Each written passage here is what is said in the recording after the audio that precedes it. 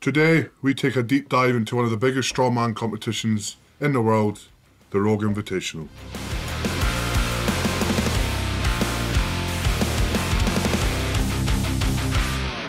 Hey guys, and welcome back to the Stoltman Brothers YouTube channel. As most of you know, the Rogue Invitational is coming to Aberdeen, Scotland next week for a weekend of strength, and we can't wait to get going. We're going to talk about the history of the Rogue Invitational and how myself and Luke have performed since we've been competing there. So, guys, what is the Rogue Invitational?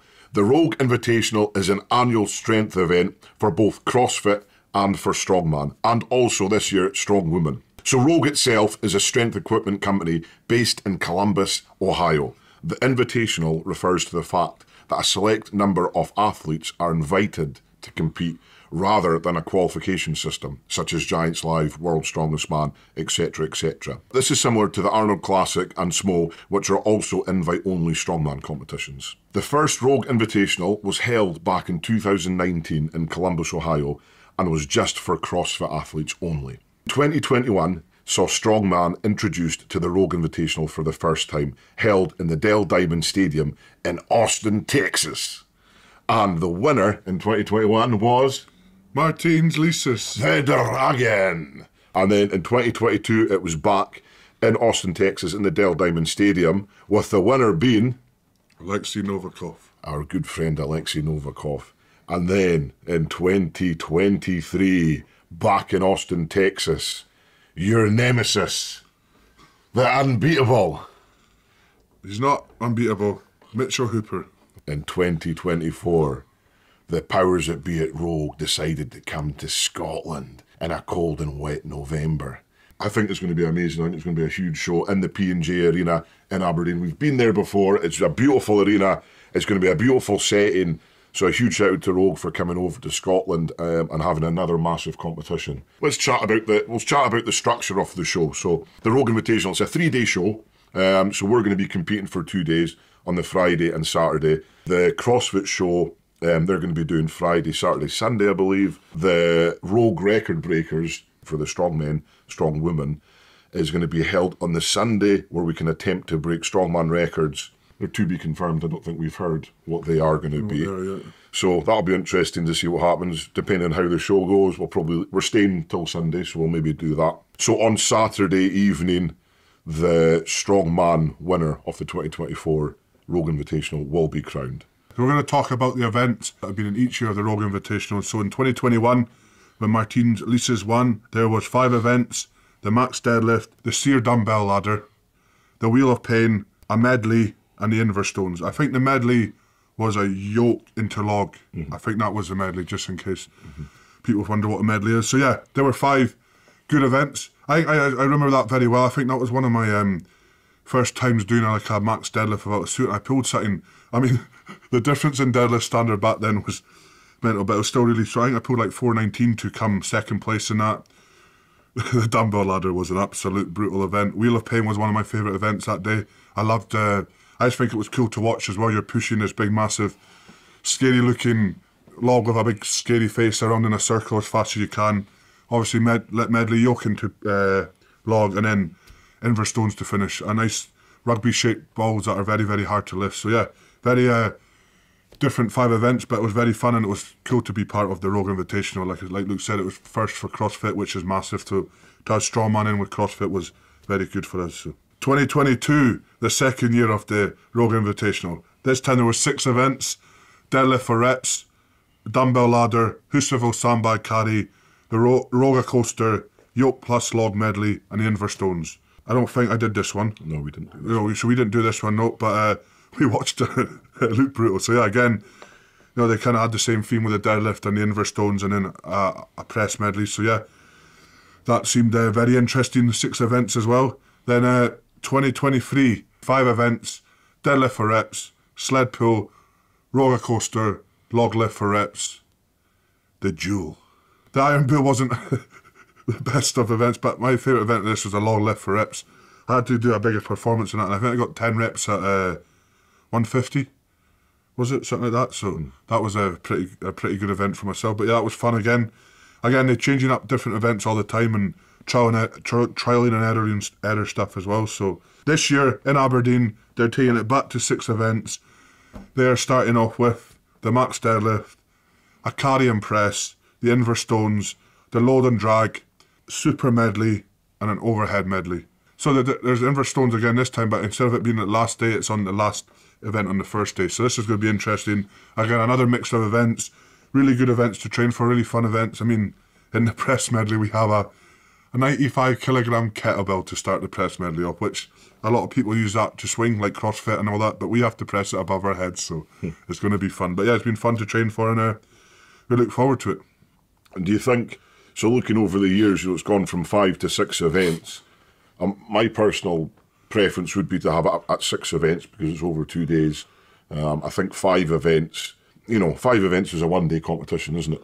Six events is, well, my opinion, I don't know about you, but I think six events is a lot bit better. I think looking at it last year, we had five events last year and um, you came second in it. You you lost a few points, and then you were making points back up all the way. So maybe if there was one more event, you would have. Yeah, it was a deadlift that I caught, cause it, was, it wasn't actually a deadlift, it was like a one of those wobbly bar things. And, It was like a wrecking yeah, ball. wrecking ball, That's what you basically. yeah. yeah. But also, as well, the weather had played a big part, and they took out an event for like the actual. But yeah, and they changed the duel up and stuff as well. So it, it was out of control. But yeah, I think six six to eight events. I think if you do two days and more, so you have a better chance of being competitive, and uh, yeah, it's much more better for every athlete involved. So that's the kind of the last few years that we've we've been competing there about the events. We'll chat about like one of the big ones for the Rogue Invitational is the the prize money. It's one of the best paying shows um, out there, if not the best. We'll go over it. So in 2021, the prize for the winner was one hundred thirty three thousand six hundred eighty five dollars. 2022 was $114,125. 2023 was the biggest number yet. It was $146,159, which is an amazing um, take home, you know, for, for winning first place. The beauty of the Rogue Invitational as well, all the tickets, I think some of their clothing sales as well. Everything it, basically, it goes back, yeah. it goes back to the athletes, which is which is great to see. You know, it's Also, the good thing about rogue record breakers as well is every record you break, you get five thousand dollars. So, you know, even if you come tenth place in the rogue, you can still win 20, 25 k depending on how many rogue record breakers you do. So there's a, lo- a lot of money up for grabs as well. And yeah, know, to break a wee record and to earn some money. And imagine one person breaking four records. That's twenty thousand dollars, which is a decent payday taking home for just doing records. So they, they look after you as well. And yeah, you, the money speaks volume. You can see the money on the screen there that it's uh, it's the best paying comp by quite some margin. And at the moment, the, so this year, the 2024 Rogue Invitational, the first prize for strongman and strong woman at the moment is $118,552, um, which, you know, we can expect to go up depending on ticket sales, merchandise, etc., etc., which again is, is a fantastic prize. But then when we compare it to the CrossFit, top prize for that is 269,831. Um, obviously, CrossFit is probably a, a bigger sport um, throughout the world. There's more lucrative kind of sponsorship deals and stuff in CrossFit, I would say. But um, I, I'm very confident. I think that strongman and strong women will slowly start to improve, and, and we'll see a lot more kind of prize money and sponsorships happening. So, yeah, really good show to to be part of from a financial point of view and from a, a profile point of view. You know, if you're getting invited to these shows, that states that you're you know top ten in the world. And mixing it CrossFit, everyone knows CrossFit's Yeah. such a massive sport. So it doesn't matter if you're number one in the world or you know tenth athlete in the world. Even all these athletes that are strong in it are going to be there. They're going to get their profiles boosted no matter what. So. Next up, so we'll have a look at the results, how Tom and I have done. So for me, I've competed twice in the Rogue Invitational. 2021 came eighth place. Tom and I had some time off in 2022. And 2023 came eighth place as well. So Consistency is key. two fat ladies. Just like the world. It's, it's funny. Uh, consistency. All right, let's see what Mr. No, Consistent. no, no. I'm just here- saying, like, if you come like fourth, third place, that's not consistent anymore. I would rather come fourth and third place. Oh, but honest. just saying it's, Yeah. it's Yeah. funny how the Rogue Invitational falls exactly the same as your world's. Like every year, you're the same position. I just, I find it so. Not everyone can win. All No, I'm not saying. So, I'm not saying it in a bad way. I'm just saying it's Mr. Consistent. Mr. Consistent, the world's strongest man over here. One. I'm not really consistent when I come like first, second. I mean, And so yeah, then me at Rogue Invitational, I stayed the same years as Luke, 2021 and 2023. Um, I kind of wish I did 2022 now, but it is what it is. And uh, both placed, both second place. My three points with Martins Licis. Um, to be honest, I was buzzing with third, uh, second place in 2021 because that's away from Welsh Strawers, man. I just wanted to put on a good performance, which I did. Martins Licis was uh, really strong then as well. He, I won two events, second in two events, and I I'd lost points in the dumbbell ladder, which again back then was probably my worst event. So yeah, 2023 full. Fast forward, Mitchell Hooper won that by two points, second in the roller coaster, won the last two events. Sled pool lost points, but I think I lost more points on the first event, which was the deadlift. Also, you know, taking out an event, it's one of these things. I could have maybe caught him, but yeah, two points won it. So two second places. oh, wow, you're pretty consistent there. About it. Uh, Imagine I that. don't know, eh? two, being Yeah, two seconds is uh, It's not bad. I want to get a first place, man. I need to. Well, hopefully, just have to concentrate on ourselves and see what happens. Who knows? So yeah, that's our performances in the the invitational over the last couple of years. Um, Feels like we've done it more than twice. yeah, it does actually. like it feels like it's been around for ages. It does. It's weird. So like, let's let's talk about 2024 and the athletes competing. There's going to be 10 athletes. Tom, you want to read them out? Mitchell Hooper. Yeah. Even this is a surprise. Hafthor Bjornsson. This is his first appearance. You you forget that he's been around so long, and this is his first ever time at the Rogue Invitational. So that's going to be that's obviously going to bring loads of fans as well. Myself and Luke, Tom and Luke Stoltman, Evan Singleton, Mathew Ragg, Pavlo Kordiyaka, Hanson Pavlo, Tristain Hoath, Bobby Thompson, and last but not least, Thomas Evans. So yeah, a good amount of guys. You know, I, I know I see a lot of people saying why wasn't Trey invited or Mateusz and um, I don't know. There's other guys that were missing out as well. Uh, Maxime, for example, as well. But um, we get our invitations quite early on in the year for the Rogue Invitational, and Mateusz, um, Trey, I think Maxime as well. They all had, had injuries. So although you know Trey's looking fantastic, so I, I don't think anybody expected Trey to be back this quickly. I, I mean, when I seen that injury last year at the Rogue, I kind of thought to myself, and he must be out for like a year, a year and a half. But like, fair play to him, he's come back and he's come back hungry. Which, again, you know, he'll be watching Rogue wanting to be there, but it'll make him hungry and hungrier. And his last few competitions have been unbelievable. So he's absolutely smashing fair it, to him. Yeah. So he's coming back stronger. And I, I don't think like Trey will hold like a grudge against like No. Rogan because he knows that It's one of them things, you know. You have to, you can't, you can't invite someone that's injured. That's just a risk that they, that Rogue would be taking as well. So. But yeah, we can't can't wait to see Big Trey back next year at the Invitational, all the competitions. I think he's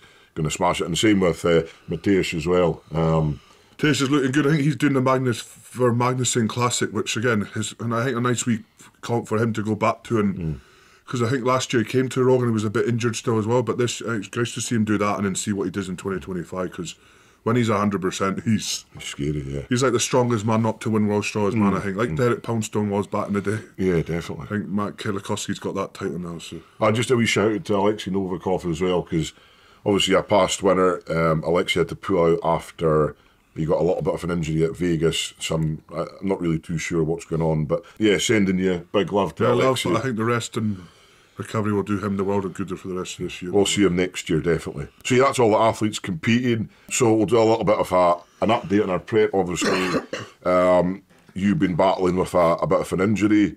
You've taken on a new coach. You've, you're like I've been watching your training's completely changed. It's amazing to see that work ethic.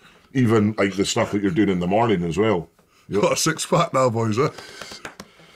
no, I'm joking. But I mean, it, it looks like things are going going on a lot better now for you. Your confidence back, you've got that fire back, that kind of belief as well is there. So I think, I mean, I don't want to say anything, but you just go in there, do what you can do, and then, you know, I think a lot of people are putting Mitchell and Thor up there and maybe not talking about you, and that's where you're kind of quite dangerous. I think. I like that. Yeah, I mean, like I said, um, not really talking about the coach match. I obviously did a video three weeks ago, sitting when I joined with him, and uh, yeah, I kind of thought, yeah, he was going to be. He's really good at what he does for his, uh, injury prevention, but how he's got me in this three weeks has been unbelievable. But I think a lot of it's mindset as well, and that's what he said to me. Yeah, my mindset's just very, very good. You know, I've been doing cold water in the mornings now as well, and that I said I would never ever do. So, uh, yeah. Wait a minute. Whoa, whoa, whoa. Luke said, Rewind that for one second. You're doing cold water in the morning. yeah. Again, that's again because the thing again because he actually told me. Hallelujah.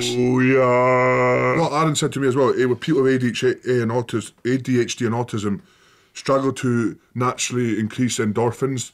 And I didn't know about this, and he said he does it in the morning because he's got ADHD, and I obviously with autism, and then so I just did it, went with it and all, and and then I do hot stuff the, at night time just to switch off. But the the training's been going very very well. Much honestly much better than I ever thought. Um, a lot of aero- aerobic fitness as well. I'm doing a lot more on the like the bike, the assault bike. I've been doing every single day. Um, so yeah, it's just a big positive for myself right now, and I'm looking at the long term as well. In three weeks' time, if he can get me like this, and it's going to be good in the future. But yeah, I'm going into Rogue hungry, and yeah, I liked how Hafthor and Mitchell's getting a lot of uh, talk because you know if they don't perform to their fullest, then it's it's all in them. But yeah, I'm going in, nothing to lose, going to give my all, hundred percent battle. Aaron's going to be there as well at the Rogue, so exactly what I'll be doing it here, I'm going to be doing it at the Rogue, following his work, uh, following his warm ups. He's telling me what to do, and I'm just going to go and perform and like I do in training. So it's going to be fun. Yeah, it's And how was yours? And again, Luke's been uh, he's been absolutely battling it. He's been on the floor, lying on the floor after doing his assault bike, sandbag things, whatever he's doing. I was like, holy crap, boy, yeah. Gordon Bennett. I thought I was intense until I seen this guy. No, to be honest with you, before I went with Aaron, I thought I was intense. Then I went with Aaron, I am 95% intense. Then I seen Luke, and he's like 97.5. So there's, there's always room for improvement, is what we're saying, and that's that's what I think my training is. There's there is obviously more room for improvement, but I'm feeling good. I think I think we both agreed, you know, going into Rogue, it's going to be like a, how quick you can recover and how how how long you can hold that hundred percent level at. You know, it's um, you don't want to hold anything back. Like in the medleys, you want to go go go go go. Um, and I feel that both of us at the moment we're we're very good. We're very conditioned. I'm doing the peloton every morning.